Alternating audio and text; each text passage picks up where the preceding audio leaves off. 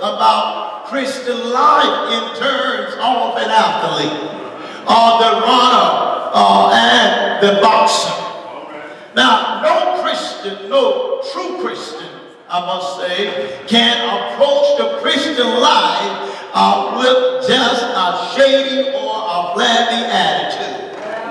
No genuine Christian uh, can indulge the body and its lust and expect to win the incorruptible crown of the Christian life. Are you praying with me? Corinth was known for the, what you call the Isthmian uh, Games, which were second only to the Olympic Games of the Grecian and Roman world. Therefore, everyone in the Corinthian church knew the point Paul was making. Maybe today I can allude it to the Super Bowl, but today it is called what? Super Bowl Sunday. Super Bowl Sunday, which have some of us now looking at it.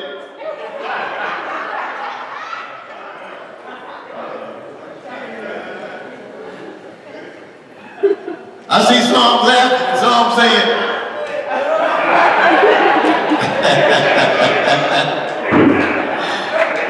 Uh, Uh, uh, uh, uh, can't be compared to the athlete. And you know that we as Christians see that that that that that it doesn't take uh, effort, it doesn't take sacrifice to live in this world as Christians, or we feel that no matter what we do, that God is going to bless us. But I'm here to tell you that sin will stop your blessing. Mm. Jesus said, of the word said that if you grow closer to me, that he'll, that I'll grow closer to you. And Jesus speaking. In other words, if you ain't growing closer to him, if you think that you can live live, Monday through uh, Saturday, and only live an hour and a half for him on Sunday uh, and, and still be blessed or have that closeness with him, then you have another Paul coming. Secondly, Apostle Paul says that a true believer of the Lord is to live a life just as disciplined as That they actually says that we are to keep our bodies under control just as much as the Olympic athletes. Mm. The Christian race, when we as Christians enter the race, we must enter the race to win. We must count all loss but Christ. In the athlete contest, every runner entered the race for one purpose and one purpose only. They don't enter the race to lose, they enter the race to win. I know it is a personal uh, uh, experience that we need with Christ. It is a personal passion that one must have to follow Christ. But if we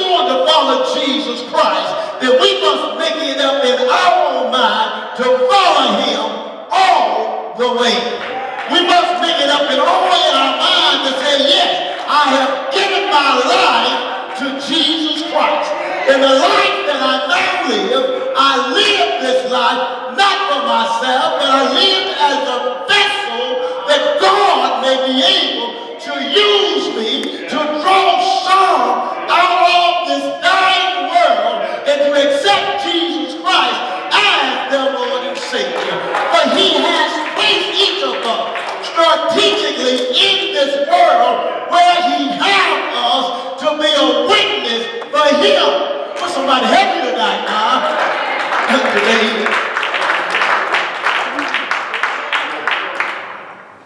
Uh, when you run this race as an athlete, only one received the prize.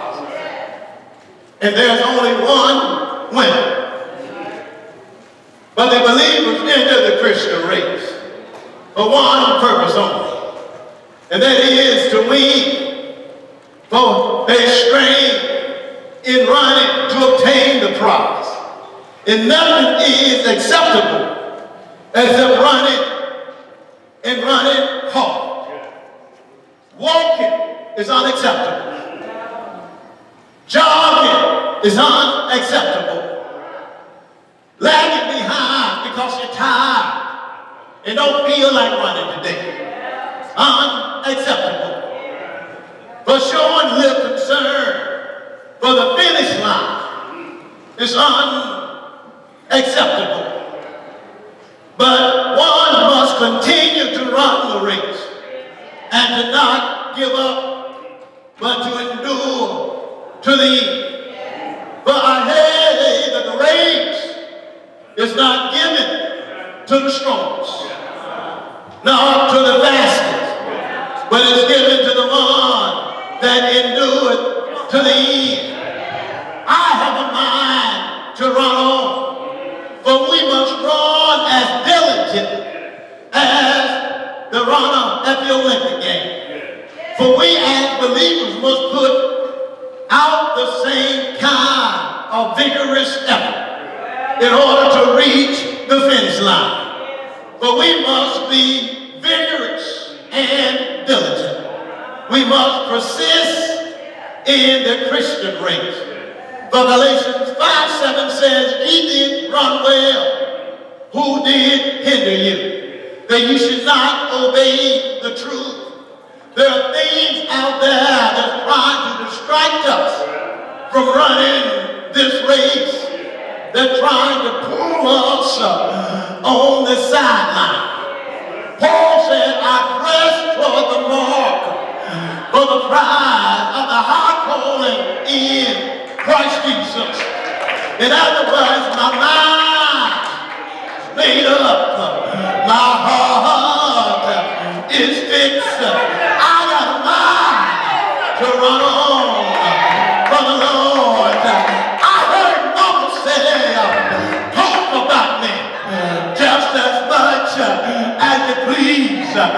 But the more you talk, I ain't gonna get mad at you. I ain't gonna talk about you. I'm gonna stay on my knees. In other words, I'm gonna pray for you. The more you talk about me, I'm gonna love you more. Am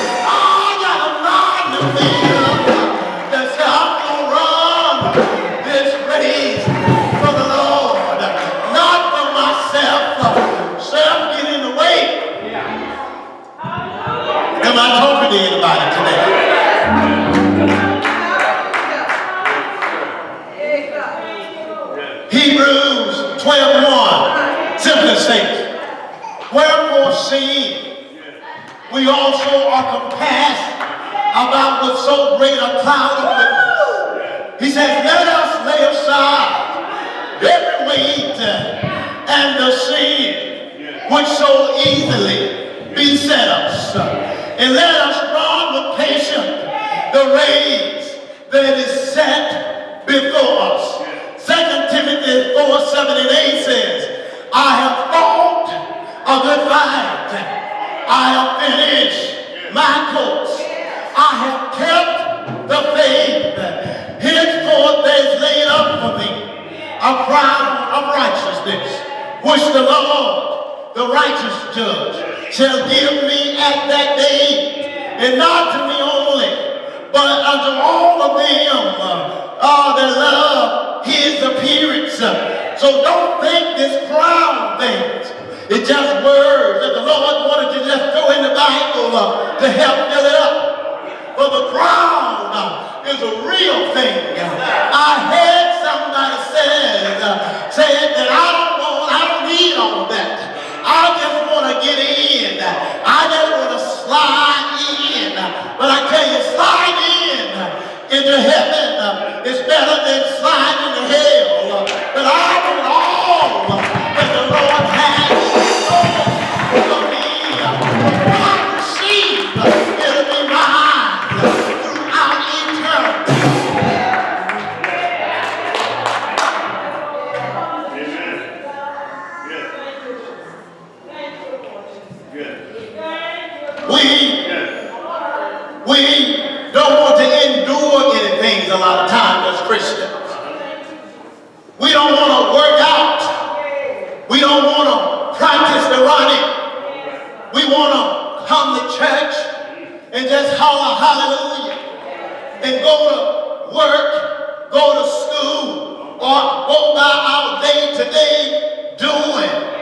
and doing what we want to do, pleasing ourselves and not in doing the cross that God has before us.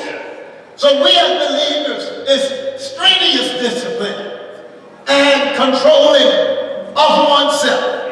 That every runner and boxer is highly disciplined. They're highly disciplined in body. They're highly disciplined in mind. They're highly different, uh, disciplined in thought. They're highly disciplined in spirit. They're highly disciplined in the workout and exercise. Highly disciplined uh, the contest that they are training for. They are disciplined in body of what they eat and how much they eat. They're different, they're, they're disciplined in mind and thought for their concentration on the goal and how to their body and spirit and mind to that end. They're disciplined in spirit in keeping their spirit strong and motivated for the strain necessary to work out day by day and to reach that goal. I'm just trying to tell you today, church, that we as Christians, uh, we have to be disciplined uh, just like an athlete. But we have to know the goal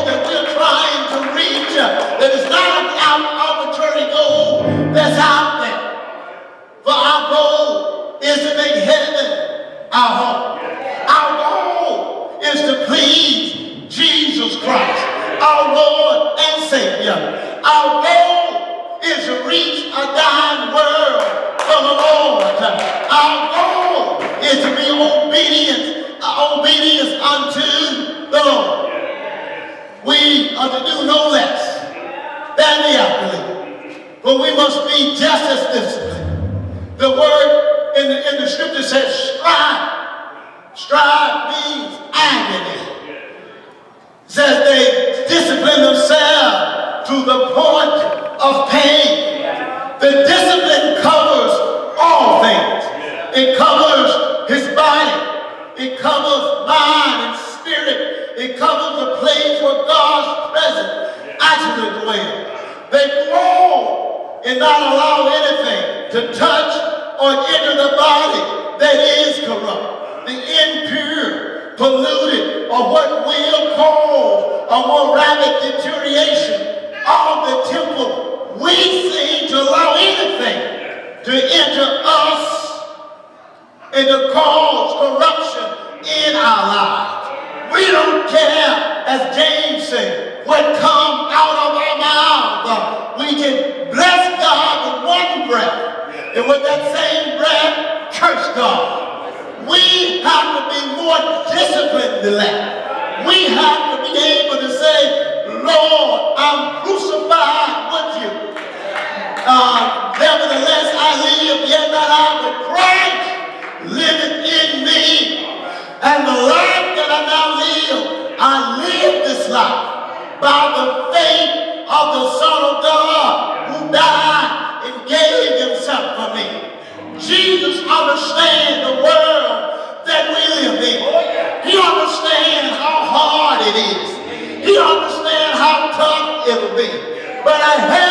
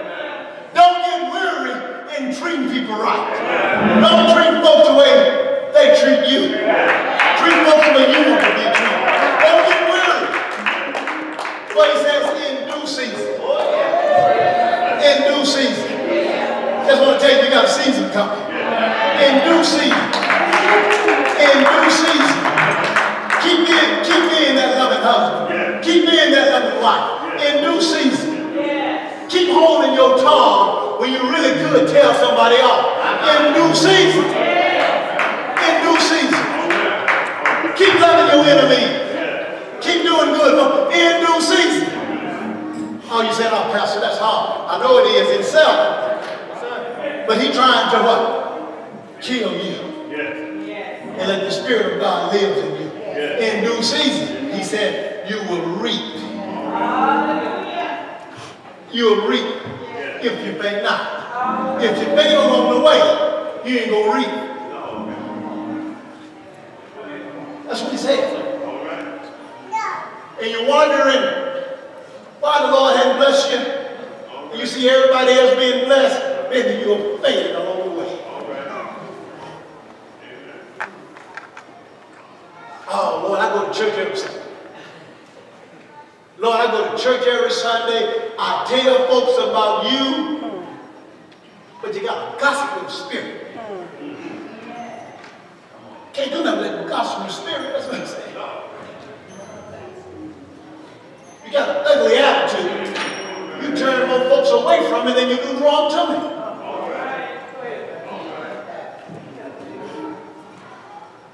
You wear a chip on your shoulder. You go to church for the wrong reason. Your, your motive's wrong.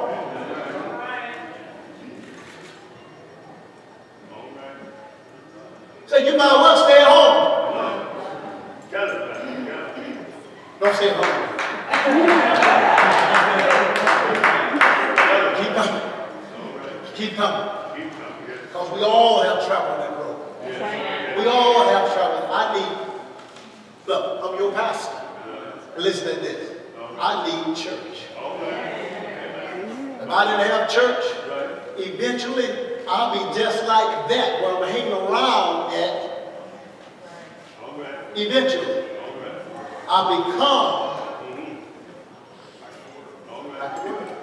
I need you. Amen. We need church. Dynamic take place in the atmosphere at church that we don't see. It is happening in the spirit realm. That's why it's hard to come to church. That's why the enemy said, stay at home. Then he said, no, I got to go to church. Well, he said, you can watch it on TV.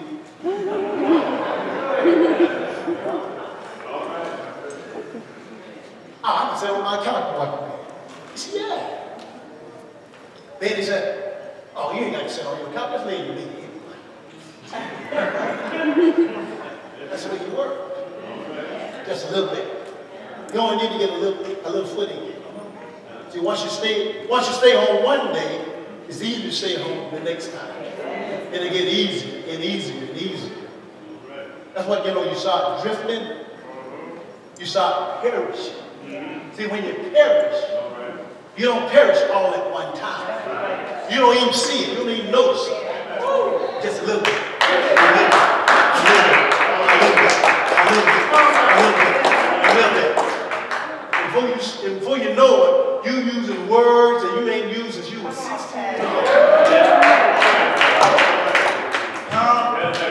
You using words when you used to speak in tongues.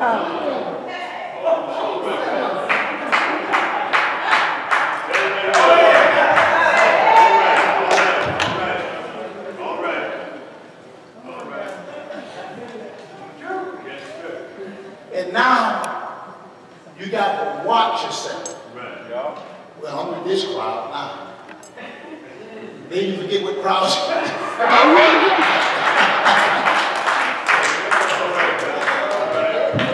then you forget what crowds is.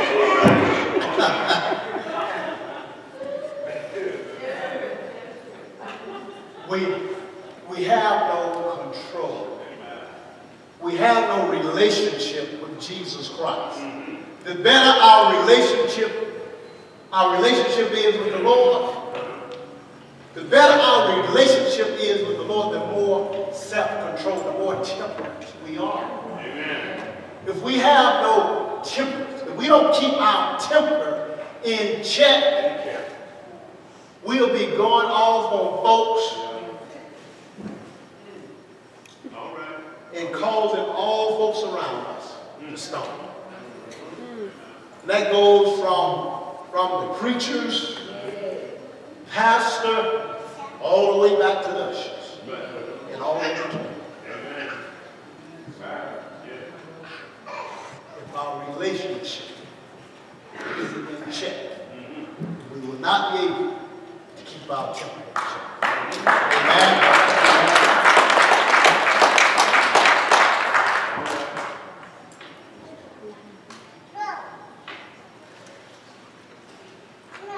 Jesus Christ. Never lost control. He, our example. Somebody said, yeah, he was God. Yeah, he was. And he was fully man. Jesus Christ is his earthly name. Christ is the heavenly name. Jesus Christ, the name what his parents gave by way of the Holy Spirit. But Christ is the name that his heavenly Father gave Fully man, fully Christ. Had total self-control. Endured the cross. Felt every pain. Knew every backbiter in crowd. And he said, Father, forgive them Look at the temperance that I walk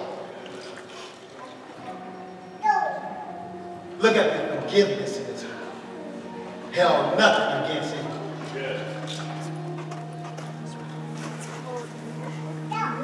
But he knew that he had to be the one to die. He came to die for our sin. That we may be empowered to overcome sin through him. Now the Spirit of God lives in us, those who have accepted him as Lord and. So there's no excuse now, for we have been saved from the penalty, from the power of sin. So when we sin now, it is by choice. We can't put it on nobody. We can't put it on they. There. It is you that made that choice, made that decision. Don't let anyone make you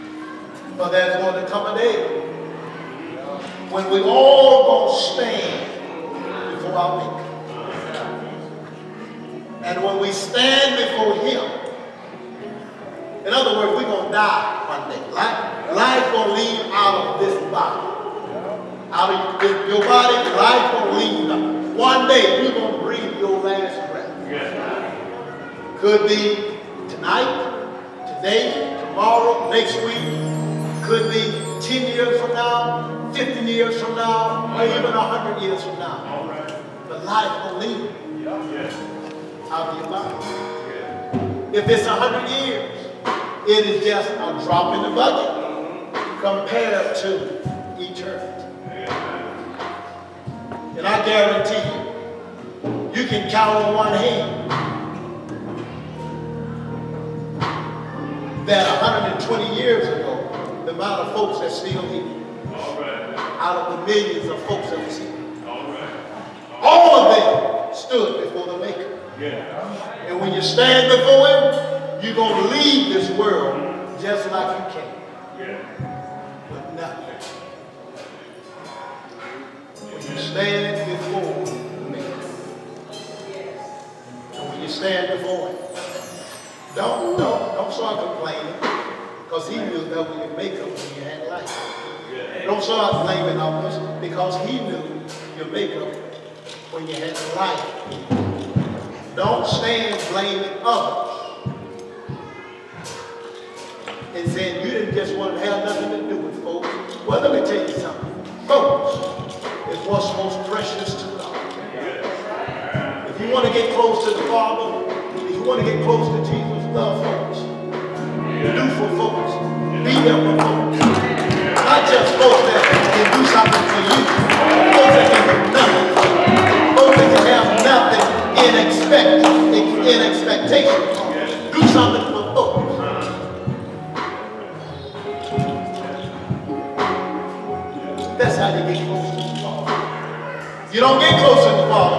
By, well, I go to church every Sunday. I'm a deacon, I'm a preacher, I'm a pastor, I hold, I hold a position in church. That has nothing to do with it. You want to get close to the Lord? You want to grow in Him? Love folks. Do like He did. Love the unlovable.